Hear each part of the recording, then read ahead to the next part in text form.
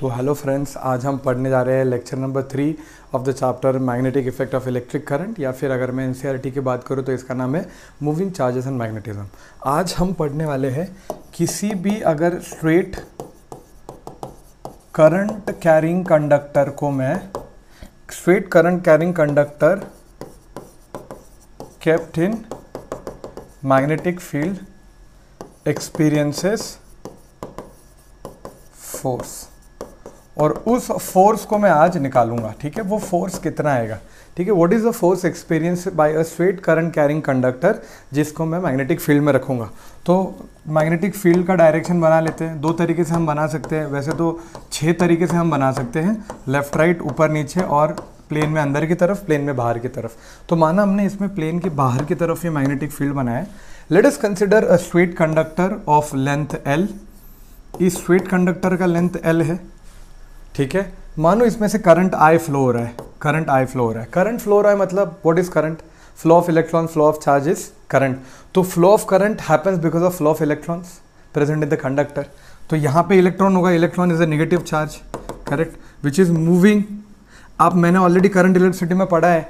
The velocity with which the electron moves in the conductor is called as drift velocity तो I can easily say charge of charge जो electron का charge है that is moving with velocity V D जिसकी वजह से current I produce हो रहा है फ्लो हो रहा है। मैग्नेटिक फ़ील्ड बी है लेंथ इज़ द एल अब ये फॉर्मूला मुझे ऑलरेडी पता है लेक्चर वन में मैंने देखा।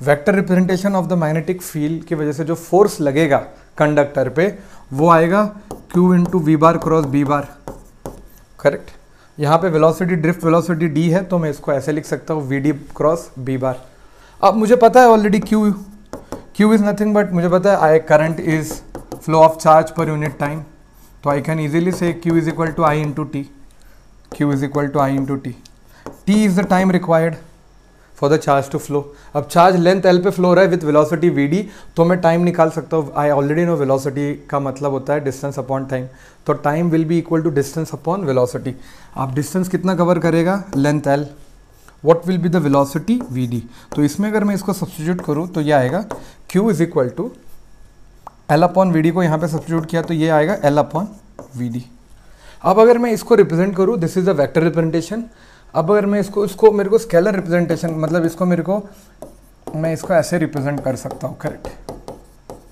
नाउ मुझे ऑलरेडी पता है V bar cross B bar को अगर मैं लिखूँ तो वो होता है V B sine theta and N cap is the vector unit vector which is perpendicular to the direction of cross product of this तो ऐसे लिख सकता हूँ मैं इसको।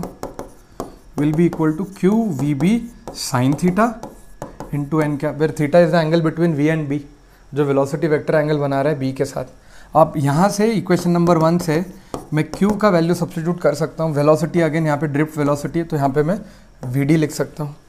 अब अगर मैं देखूँ q का वैल्यू तो वह है I into L upon V D I into L upon V D यहाँ पर अगर मैंने इसको सब्सटीट्यूट किया तो मैं वी डी से वी वी को कैंसिल कर सकता हूँ।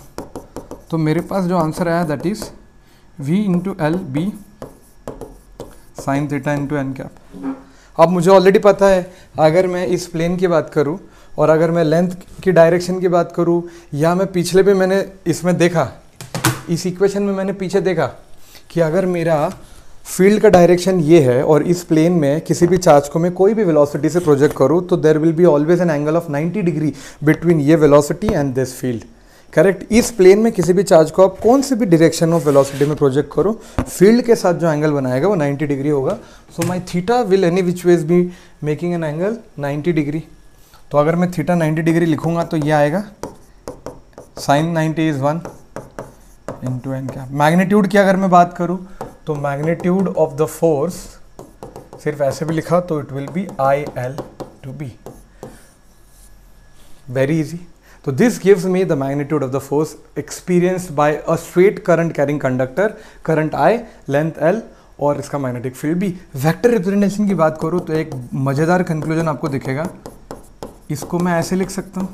I into L bar cross B bar देखो, ज़रा ध्यान से देखो, इस चीज़ को, अगर आप देखोगे, इसको इससे कंपेयर करो। L B sine theta N cap को वी वी के जगह पे अगर मैंने एल को लिखा तो इस चीज़ को मैं ऐसे लिख सकता हूँ, क्या? V bar cross B bar को मैंने रिप्लेस किया L bar cross B bar से। जी हाँ मैं लिख सकता हूँ। तो this is the vector representation अब अगर मैं बात करूँ लेंथ एक वेक्टर क्वांटिटी है। हमने अपने पर्पस के लिए लेंथ को वेक्टर क्वांटिटी माना तो ऑब्वियसली एल का डायरेक्शन होगा। तो एल का direction is directed along the direction of current तो जो भी डायरेक्शन ऑफ़ करंट होगा, अब जैसे इस एग्जांपल में मैंने देखा करंट का डायरेक्शन ये है तो लेंथ भी हमारे इस तरफ़ होगा लेंथ भी इस तरफ़ होगा फ़ील्ड इस तरफ़ होगा तो अगर मेरे को फोर्स का डायरेक्शन चाहिए तो वो आएगा L bar cross P bar का डायरेक्शन क्लियर है तो फोर्स मेरा लेंथ जा रहा था ऊपर की तरफ़ करंट ऊपर की तरफ़ तो लेंथ ऊपर फ़ील्ड इधर L cross B bar will give me the direction of force correct तो समझ में आपको this is the magnitude as well as direction of the force which is experience by a current carrying conductor जो straight होता है। अब अगर मैं अगले एग्ज़ाम्पल की बात करूँ तो ज़रूरी नहीं है कि ये कंडक्टर का शेप स्ट्रेट हो। अगर कोई भी आर्बिट्री शेप हो आर्बिट्री शेप ऑफ़ कंडक्टर उस पर कितना फोर्स लगेगा? मानो आर्बिट्री शेप मैंने ऐसे लिया। ठीक है this is an arbitrary shape अब मुझे पता है, ये शेप मुझे पता नहीं, लेकिन मैंने क्या एक छोटा एलिमेंट डी एल कंसिडर किया। अब करंट का डायरेक्शन करंट का डायरेक्शन ऐसे है तो जो करंट का डायरेक्शन होगा, वही डी एल वैक्टर का भी डायरेक्शन होगा। तो छोटा सा फोर्स जो लगेगा डी एल पे, उसको मैं ऐसे लिख सकता हूँ। ऑलरेडी मैंने देखा ये चीज़। L cross B bar when it is kept in magnetic field B bar obviously correct आगे मैग्नेटिक फ़ील्ड आप दिखा सकते हो ऐसे बाहर की तरफ़, ठीक है? मैग्नेटिक फ़ील्ड आप दिखा सकते हो अपने हिसाब से। When this conductor is kept in a magnetic field, ठीक है? मैग्नेटिक फ़ील्ड मैंने दिखाया अब लेकिन मेरे को थ्रू आउट पूरे लेंथ पे फोर्स चाहिए।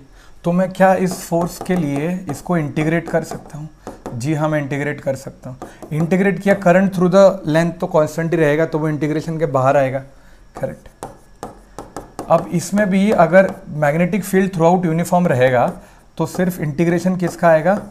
डी ऑफ़ एल का आएगा। तो this equation will give me this equation will give me the force अगर मैं इस लेंथ को टोटल इंटीग्रेट करूँ तो मेरे को बस लेंथ मिल जाएगा उस आर्बिट्री शेप का तो मैं इजीली उस पर फोर्स निकाल सकता हूँ। बहुत इजी है लेंथ का बस आपको इंटीग्रेशन लेना है। अगर ये बी यूनिफॉर्म है तो। यूनिफॉर्म मैग्नेटिक फ़ील्ड आई बाहर निकल जाएगा I is any which is scalar quantity ये हो गया आर्बिट्री शेप पे कितना फोर्स अप्लाई होगा। नाउ इससे ज़्यादा इंपॉर्टेंट है थर्ड चीज़, अगर क्लोज्ड लूप है close loop of conductor carrying current carrying current और उसको मैंने मैग्नेटिक फ़ील्ड में रखा। अब क्या आएगा? देखो, बहुत इंटरेस्टिंग चीज़ है। ये मेरा मैग्नेटिक फ़ील्ड है और मैग्नेटिक फ़ील्ड में मैंने एक close loop for example circular loop में घूमने वाला यहाँ पे करंट ऐसे जा रहा है। मैंने इसको रखा करेक्ट अब यहाँ पे मैं क्या करूँगा, एक छोटा सा एलिमेंट डी एल कंसिडर करूँगा। Along the direction of current इसका लेंथ आएगा। तो मैंने देखा अभी फोर्स इस पर कितना लगेगा? Correct close integration over the close loop L cross B bar correct अब अगर आप यहाँ से ध्यान से देखोगे तो जैसे एक एलिमेंट छोटा मैंने डीएल कंसिडर किया, इसका डायरेक्शन इधर है, इसके एग्जैक्ट ऑपोजिट में एक और डीएल आएगा ऐसे। लेकिन इस डीएल का डायरेक्शन ऐसे होगा। तो इस डीएल को ये डीएल कैंसिल कर देगा। ऐसा एक और डीएल मैंने लिया, इसका डायरेक्शन इस तरफ़ है। एक और डीएल में लूँगा जिसका डायरेक्शन इधर आएगा। तो ओवर द एंटायर लूप हर एक डीएल का कंपोनेंट अपोजिट साइड के डीएल का कंपोनेंट को कैंसिल आउट करेगा एंड फॉर क्लोज लूप मेरे को ये मिलेगा। Hence I can say force acting on a current carrying loop अगर वो क्लोज लूप बना रहा है तो उस लूप पे करंट की वजह से मैग्नेटिक फ़ील्ड में अगर हम उसको रखेंगे तो it will experience zero force तो this is the three important चीज़ें जो हमने देखी कि अगर स्वेट करंट कैरिंग कंडक्टर है तो उस पर कितना फोर्स लगेगा? आर्बिट्री शेप का करंट कैरिंग कंडक्टर है तो उस पर कितना फोर्स लगेगा? और अगर क्लोज लूप है और उसमें से करंट पास हो रहा है तो हमने ये देखा कि उस पर ज़ीरो फोर्स लगेगा। तो फ्रेंड्स आज खत्म करते हैं lecture number three lecture number four में आगे पढ़ेंगे torque acting on a current carrying loop and then we'll study moving moving coil galvanometer जो कि बहुत इंपॉर्टेंट चैप्टर है. तो मिलते हैं लेक्चर नंबर फोर में. तब तक के लिए see you bye take care and have a nice day bye